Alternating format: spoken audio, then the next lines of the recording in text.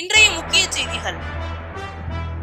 யாஸ் புயல் சேத ஆய்வு கூடம். பிரதமர் ஆளுநரை முப்பது நிமிடங்கள் காக்க வைத்த மம்தா கொரோனாவால் பெற்றோரை இழந்த குழந்தைகளின் பெயரில் ரூபாய் ஐந்து லட்சம் முதல்வர் மு ஸ்டாலின் வைப்பு பெருந்துறை அரசு மருத்துவமனையில் கூடுதலாக முன்னூறு ஆக்சிஜன் படுக்கைகள் திறப்பு.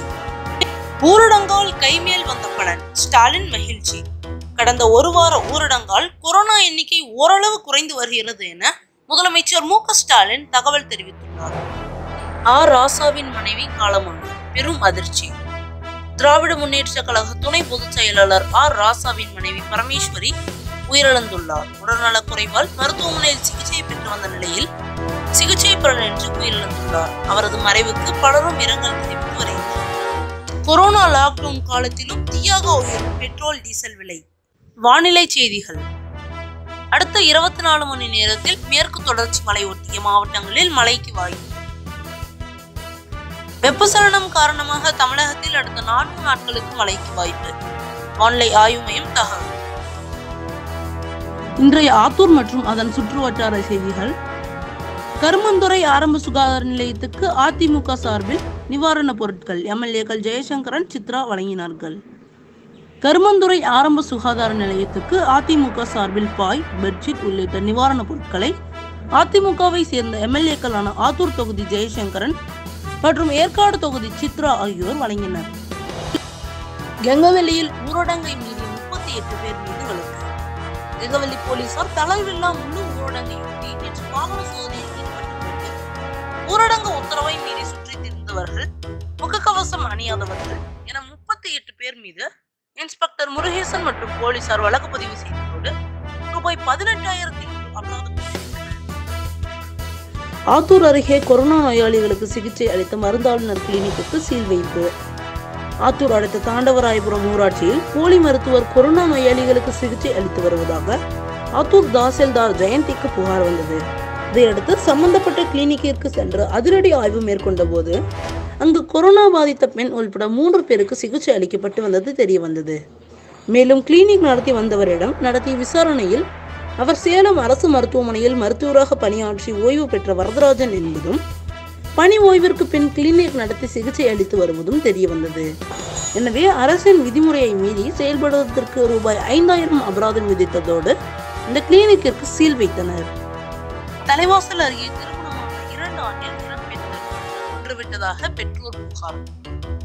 தலைவாசல் அடுத்த நாவக்குறிச்சி கிராமத்தை சேர்ந்த கூலி தொழிலாளி செந்தில் இவருக்கு கடந்த இரண்டு ஆண்டுகளுக்கு முன் புளியங்குறிச்சி கிராமத்தை சேர்ந்த கௌசல்யா என்பவருடன் திருமணமாகி ஒரு வயதில் பெண் குழந்தை உள்ளது. இந்த நிலையில் கௌசல்யா கடந்த இருபத்தி ஆறாம் தேதி வீட்டில் தூக்கி தற்கொலை செய்து கொண்டார். இதையடுத்து கௌசல்யாவின் தந்தை ராஜு ஆத்தூர் ஆர்டிஓ துரையிடம் புகார் மனு இதில் தனது மகனை செந்தில் மற்றும் அவரது குடும்பத்தினர் அடித்து கொலை செய்து தூக்கில் தொங்கவிட்டு தற்கொலை செய்து கொண்டதாக நாடகம் ஆடுகிறார்கள். இது குறித்து முறையான விசாரணை நடத்த வேண்டும் என தெரிவித்துள்ளார். இச்சம்பவம் அப்பகுதியில் பரபரப்பை ஏற்படுத்தியுள்ளது. ஆத்தூர் நகராட்சியில் வாகனங்களில் விற்கப்படும் காய்கறி விலை உயர்வு. ஆத்தூர் நகராட்சியில் பொதுமக்களின் வீடுகளுக்கு நேரில் சென்று வாகனங்களில் விற்பனை செய்யப்படும் காய்கறிகள் கூடுதல் விலைக்கு விற்பனை செய்பவர்கள் கடும் நடவடிக்கை எடுக்க வேண்டும் என பொதுமக்கள் கோரிக்கை விடுத்துள்ளனர். கொரோனா கட்டுப்பாட்டு அறை. ஆத்தூர் நகராட்சி அலுவலகத்தில் பொதுமக்கள் வசிக்காத இருபத்தி நான்கு மணி நேரமும் செயல்படும் கட்டுப்பாட்டு அறை தொடங்கப்படுகிறது. நகராட்சியில் ஆறு இடங்கள் கட்டுப்படுத்தப்பட்ட பகுதியாக அறிவிக்கப்பட்டுள்ளது பொதுமக்கள் தங்களுக்கு தேவையானவற்றை இந்த கட்டுப்பாட்டு அறைக்கு அதாவது பூஜ்ஜியம் நான்கு இரண்டு எட்டு இரண்டு இரண்டு நான்கு பூஜ்ஜியம் ஏழு ஏழு மூன்று என்ற எண்ணில் தொடர்பு கொண்டு இருபத்தி நாலு மணி நேரமும் தகவல் தெரிவிக்கலாம் என நகராட்சி ஆணையாளர் ஸ்ரீதேவி தெரிவித்துள்ளார் ஆத்தூரில் நாற்பத்தி ஒன்பது டூ வீலர்கள் பறிமுதல்.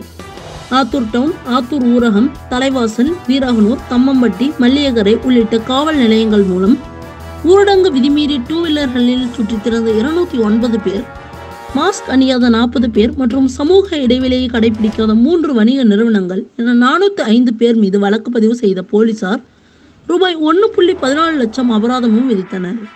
மேலும் நாற்பத்தி ஒன்பது டூ வீலர்கள் பறிமுதல் செய்துள்ளனர்.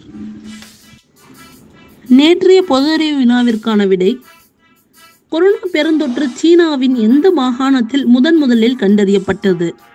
இதற்கான விடை ஊஹான் மாகாணம். இன்றைய பொது அறிவினா கொரோனா இரண்டாவது அலையின் புதிய அறிகுறிகள் என்னென்ன? இதற்கான பதிலை கமெண்ட் பாக்ஸில் பதிவிடுங்கள். மாணவ செல்வங்களுக்கு ஒரு இன்ப செய்தி. சேலம் தியாகராஜர் பாலிடெக்னிக் கல்லூரி சார்பில் ஆன்லைன் கட்டுரை போட்டி. உலக சுற்றுச்சூழல் தினத்தை முன்னிட்டு சுற்றுச்சூழல் குறித்த விழிப்புணர்வை மாணவர்களிடையே ஏற்படுத்தும் வகையில் நவீனமயமாக்கலும் சுற்றுச்சூழல் பாதுகாப்பும் என்ற தலைப்பில் கட்டுரை போட்டி ஆன்லைன் மூலம் நடத்தப்படுகிறது. இந்த போட்டியில் ஒன்பதாம் வகுப்பு முதல் பன்னிரெண்டாம் வகுப்பு வரை படிக்கும் மாணவ மாணவிகள் பங்கேற்கலாம். மாணவர்கள் தங்கள் கட்டுரைகளை இரண்டு பக்கங்களுக்கு மிகாமல் தமிழ் அல்லது ஆங்கிலத்தில் எழுதி கீழ்கண்ட கூகுள் படிவம் இணைப்பு மூலமாகவோ மின்னஞ்சல் மூல முகவரி மூலமாகவோ அனுப்பலாம்.